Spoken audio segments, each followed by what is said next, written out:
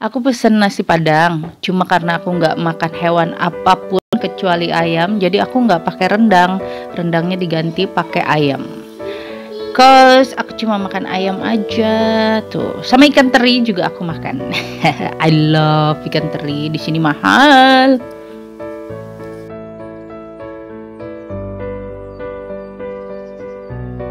Nah, ini dia pesanan aku nasi padang ada ya segitulah ala kadarnya. Nah kalau makan di sini itu nggak bisa yang namanya lama-lama atau makan-makan cantik. Oh ya sayang mama.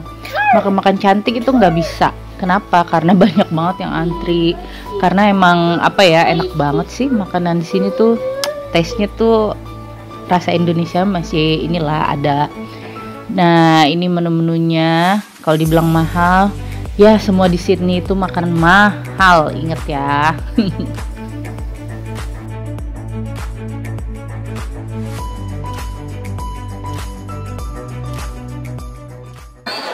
mama nggak bisa minum.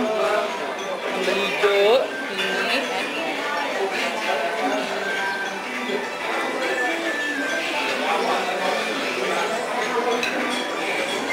aduh ini rasanya ini ya. Indonesia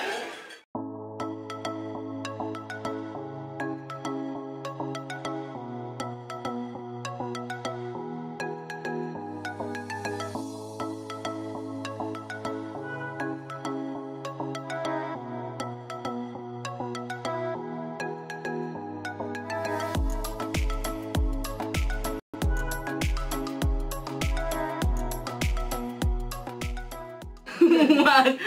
Gitu muat muat muat muat. Oh udah? Yeah. yeah. eh ayo kita dari belakang. Ini setiap senang banget. muat muat muat. Lihat dong. Lihat ibu-ibu ya. Pada bawa gerobak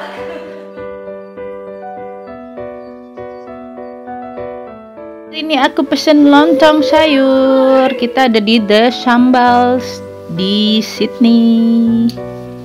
Nih, tempatnya agak besar ketimbang kemarin yang di Medan Chiak.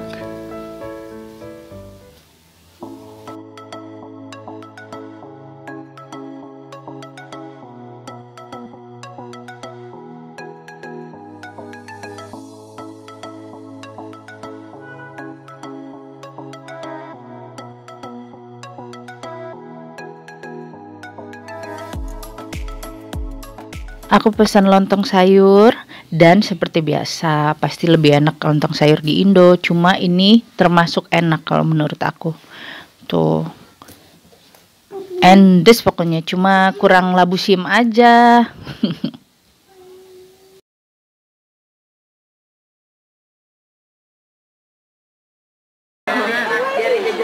ya oke dari sekarang ya supaya cabai ya ini ah Free, free, free.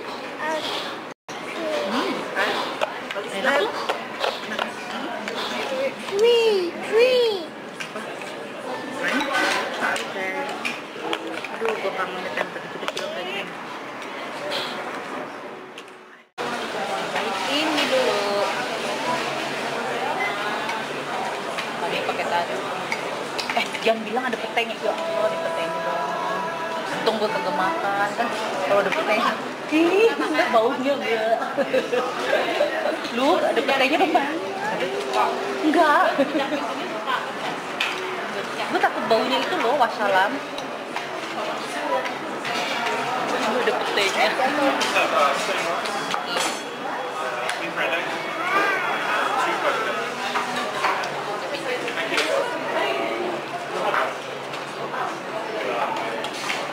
Sama sih gue, pete mau seupil apa pun, pasti tetap tercium baunya. Enak. Tapi ada petenya, jadi makannya harus hati-hati. Apa ada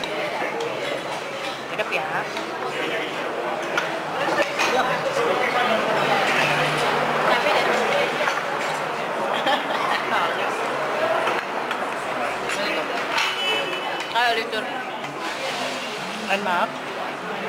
tapi ada petainya agak takut ya petai itu mau seupil baunya tuh luar biasa Apa ini sayang?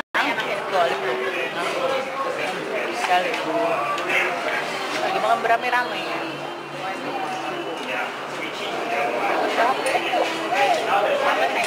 Apa sih?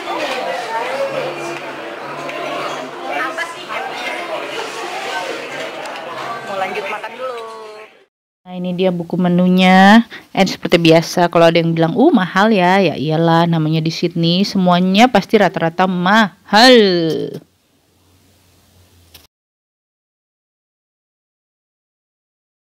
Dan kita harus buru-buru pergi pindah tempat Karena seperti biasa lagi Banyak yang antri jadinya kita harus pindah ke toko sebelah Oke? Oh iya satu lagi yang namanya restoran Indonesia itu udah pasti. Rata-rata tuh yang namanya staffnya pasti baik-baik banget. Di sini juga baik di Medan Cia juga baik yang di Wedap sayang mama? Yang di Salom juga baik. Rata-rata baik-baik semua kok Wedap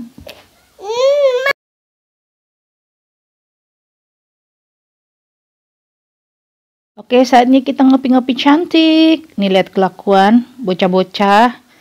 Aduh.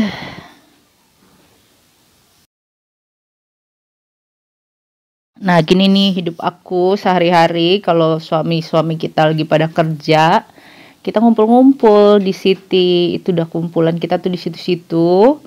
Terus ya nyobain masakan Indonesia atau kongko-kongko di mana, ngopi-ngopi cantik. Pokoknya kalau lagi bosan di rumah, ketemuan. Setidaknya tuh seminggu sekali atau dua minggu sekali tuh kita pasti ketemuan bareng-bareng ngumpul. Jadi ngobrol-ngobrol pakai bahasa Indonesianya. Masih tetap lancar meskipun kita jauh dari Indonesia. Ini teman-teman aku dari Jakarta kita sama-sama kerja ternyata ketemu lagi di sini kita ternyata punya rumah di sini juga jadi ngumpul-ngumpul deh? Ion car? Ion car? Oke, okay, mama gonna take it your car, oke? Okay? Oke. Okay. Hari-hari aku gini nih. Jadi kalau mau tahu lagi kita next ngumpul di mana-mana lagi, keep watching ya. And thanks for watching this vlog and see you next time. Thank you. Terima kasih. Bye bye.